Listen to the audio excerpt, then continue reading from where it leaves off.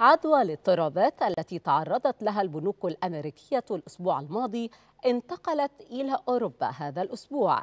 كريدي سويس ثاني أكبر البنوك السويسرية واجه ضغوطا مؤخرا هذا الأسبوع بعدما تسبب انهيار مصرفين أمريكيين مقرضين بأزمة في القطاع.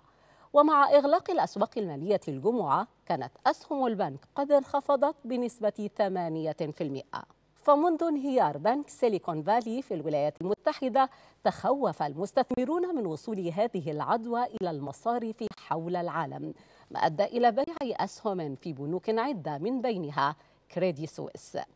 وتوازيا مع ذلك تراجعت أسهم البنك السويسري حيث خسرت أكثر من 30% من قيمتها وهو أكبر انخفاض يسجل في تاريخ البنك في يوم واحد.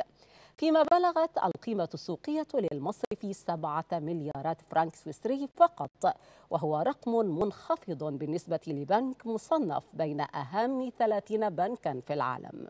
وفي مسعى لدعم السيولة النقدية لديه أعلن بنك كريدي سويس اقتراض 54 مليار دولار من البنك المركزي السويسري ومع تراجع ثقة المستثمرين والشركاء اضطر البنك المركزي إلى إقراض كريدي سويس لإنعاش المؤسسة وطمأنة الأسواق.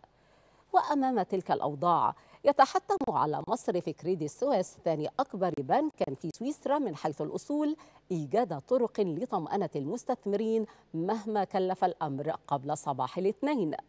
فيما يبدو أن منافسه الكبير يو بي إس قد يتدخل لإنقاذه حيث أوردت تقارير صحفية أن بنك يو بي إس يجري محادثات للاستحواذ كليا أو جزئيا على منافسه مشيرة إلى احتمال التوصل إلى اتفاق قريبا.